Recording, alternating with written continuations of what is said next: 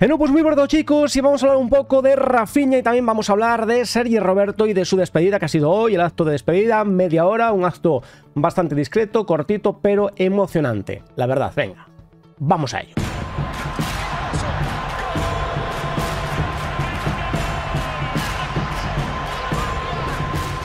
Como os decía, vamos a hablar un poco de la despedida de Sergio Roberto, porque bueno, os decía que se lo merecía, os lo vengo diciendo desde hace bastante tiempo. Una cosa es que yo sí que opinaba que deportivamente lo mejor era su salida, porque creo que hay otros jugadores que vienen en la cantera pisando fuerte y que quizás tengan más sitio que él. Pero dicho esto, creo que se merece todos los honores, todo el respeto del mundo eh, y sobre todo que los culés le guardemos un respeto. Una cosa es opinar que deportivamente creo que su etapa en el Barça había terminado, esto sí que lo pienso, eh, y otra que no se merezca el respeto porque ha sido un jugador súper profesional, como siempre he dicho, ni un mal gesto, ni una mala cara. En los últimos años era de los que menos cobraba. Entonces, bueno, yo creo que se merece un respeto y esto está bien, ¿no? Bueno, un acto donde ha posado con todos los títulos, si no me equivoco, 25 o 26 títulos con el Barcelona, una auténtica barbaridad. También ha estado Xavi en la despedida, Carles Puyol, Gerard Piqué, se hicieron una foto los cuatro, la verdad que cuatro capitanes emocionante ver a Puyol con Xavi, con Piqué, eh, recuerdos súper bonitos. Antes también ponían un vídeo emotivo de la carrera de Sergio Roberto, toda una vida en el Barcelona, toda una vida defendiendo estos colores de la mejor manera que yo creo que él ha sabido hacer. Eh, y luego, bueno, pues habló Sergio Roberto, que dice en los últimos años he visto cómo mis ex compañeros se despedían de el Barça. Ha llegado mi momento, desde que he cumplido mi sueño con 14 años. He vivido años muy bonitos. Desde mi debut con Pep Guardiola he sido afortunado el hecho de compartir vestuario con mis compañeros y ahora amigos. ¿Quién diría que hubiese cogido el relevo de Messi, de Puyol o de Xavi como capitán de el Barça? Me hubiese gustado despedirme de mi afición sobre el césped, pero no ha sido posible. Los llevaré siempre en mi corazón. Os animaré en cada partido como un aficionado más. Esto... Mmm, a ver, él no va a hablar, ¿vale? Pero yo he visto hoy el acto un poco frío con la porta sinceramente, incluso una foto que se hicieron, un poco frío. Yo creo que él no va a hablar porque me parece que o por contrato o algo no puede. Eh, tampoco creo que es el perfil de persona que habla, pero la gestión del club con Sergio Roberto no ha sido buena. Esto es así. No ha sido buena, sobre todo porque le habían dicho que lo iban a renovar. En el momento que Xavi se va, Sergio Roberto empieza a no tener noticias de el Barcelona y hasta que ve que el Barça no le va a renovar. Pero que así se entera más por la prensa que por el club. Y esto es así. Y esto algún día se sabrá. Pero bueno, ya os lo estoy diciendo yo. El Barça no ha tenido una buena gestión en la salida de Sergio Roberto. Incluso es más, ayer fue el Gamper, yo creo que era el momento perfecto para que el señor Roberto saliese y se despidiese, ¿no? De la afición, un poquito allí.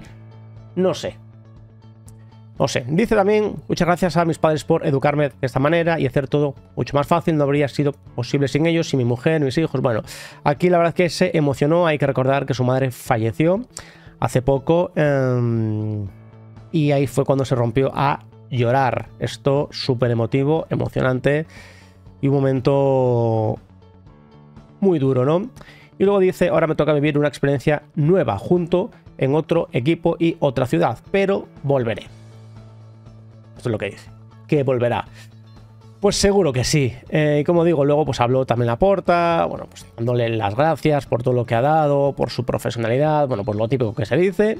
Y luego, como digo, por las fotos, estaban ahí toda la plantilla, las fotos con la Miña Mal, con todo la plantilla, Lewandowski, que iba vendado, por cierto, ayer recibió un golpe, Lewandowski vendado.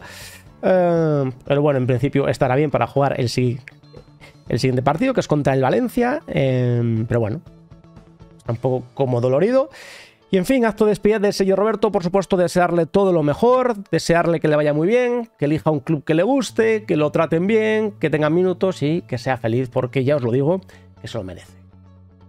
Yo digo que se lo merece y supongo que, repito, algún día hable, porque em, creo que se han podido hacer un poco mejor las cosas en el club. Y lo tengo que decir, porque es la verdad. Y porque lo sé. Y porque lo sé. Algún día también os contaré el por qué, no sé. Eh, bueno, dicho esto, vamos a hablar también de Rafinha, porque según desde Inglaterra aseguran que el Manchester piensa en el fichaje de Rafinha. Siguen insistiendo porque el club quiere dar salida a Anthony. Anthony parece que, bueno, no está dando el nivel que se esperaba de él, pagaron por él una cantidad inmensa, si no me equivoco, cerca de 100 millones o un poco más, una locura. Anthony, que la verdad es que tiene muy buena pinta, que siempre se que siempre se ha ofrecido a muchísimos clubes, que incluso sonó para el Barcelona, un jugador que siempre se dijo que iba a llegar muy lejos, que creo que ha demostrado que tiene talento, que tiene calidad, pero que no ha llegado al nivel que se esperaba de él y un poco polémico también. Ha habido alguna acción en el club que no ha gustado y parece que, bueno, quieren darle salida a Anthony. Por lo cual, el Manchester estaría pensando en Rafinha. Rafinha hay que recordar que todavía en Inglaterra tiene muy buen mercado. Bueno, sus números están ahí. Yo es que siempre me decís, no, es que tú defiendes siempre las causas perdidas. No, a ver, yo voy a defender a Ferran Torres porque es un jugador que lo da todo. Es verdad que puede rendir mejor y es verdad que no es un jugador para ser titular en el Barcelona, pero creo que es un jugador que lo da absolutamente todo. El día que no haga nada, que no corra, lo diré. Y por supuesto, el día que no rinda nada bien, lo diré. Al igual que la anterior temporada dije que al principio lo hizo muy bien, pero que el final de temporada de Ferran Torres fue horroroso, lo dije. De Rafinha, yo, mira, otro año que me voy a tener que pelear contra todos para defenderlo, pero si sigue manteniendo los números de la anterior temporada y todas las ganas, todo el esfuerzo y cómo pelea cada balón, lo voy a defender siempre. Además, siempre digo lo mismo, de vez en cuando tenéis que ir al estadio si podéis, por supuesto, yo entiendo que no todo el mundo puede, o por dinero, o porque está lejos, pero si podéis, id porque en el estadio se ve mucho mejor las cosas y se ve quién trabaja mucho. Y Rafinha es una barbaridad lo que presiona y lo que corre. Un jugador así yo no lo voy a criticar en mi vida. No puedo. No puedo. Y luego en asistencias y en goles lo ha hecho bastante bien. Es que ahí están sus números. Entonces, bueno, por supuesto que lo voy a, defender. Y a Eric García, por supuesto, porque veo que ya está todo el mundo dándole, atizándole. Y hombre, yo por supuesto, mientras su rendimiento, su actitud sea bueno, más el salario que tiene, que es de los que menos cobra, lo voy a defender. O sea, eso ya lo sabéis, aquí estoy yo y no vais a poder conmigo. Dicho esto, dicen que el brasileño sigue sin querer escuchar ofertas. Sí que le ha llegado, ha habido, como dicen, un, sondeo, un tanteo, que de costa al corriente de esto, pero que Rafinha, de momento, no quiere escuchar ofertas. Sabe que el Manchester lo quiere, que hay ofertas por él, incluso en Arabia, y esto es lo que aseguran desde Inglaterra. Que Rafinha no se quiere ir. A ver, eso se sabe. Rafinha no se quiere ir, Rafinha no se quiere marchar, Rafinha quiere continuar en el Barcelona, Rafinha quiere triunfar en el Barça, cree que puede tener sitio, que puede tener, bueno, pues al final eh, un puesto en el 11. Desde luego, si no fichamos a nadie más, yo creo que sí, que va a jugar seguro. Eh, y el Barça, pues veremos si ficha un extremo o si no. Lo de Nico Williams ya parece que es imposible, después haremos un vídeo sobre esto, pero bueno, a mí, repito, Rafinha no es un jugador que me moleste para nada, de hecho es un jugador que creo que aporta bastante. Ayer mucha gente allí pues machacándolo, a ver, Rafinha ayer para mí no es de los peores, ni mucho menos, de hecho hay que recordar que da una asistencia increíble en el minuto 1, que Pau Víctor no la metió, pero era una asistencia clara, y luego le anularon un gol, una muy buena definición. Es decir, a ver, es que esos números están ahí, es que la pegada que tiene está ahí. Quien lo quiera machacar, pues mira, yo creo que lo critica más por el precio que por otra cosa. Que haré también un vídeo de esto, que a Dani Olmo es lo que le va a pasar. Que lo critican por el precio, cuando ellos no tienen culpa. Es decir, Rafinha, Ferran Torres, Dani Olmo no tienen culpa del precio que se pague por ello. No tienen culpa ellos. En todo caso, eso habrá que decírselo a el club. Si tú consideras que se pagó mucho por ello, que yo estoy de acuerdo, entonces habrá que decírselo a el club.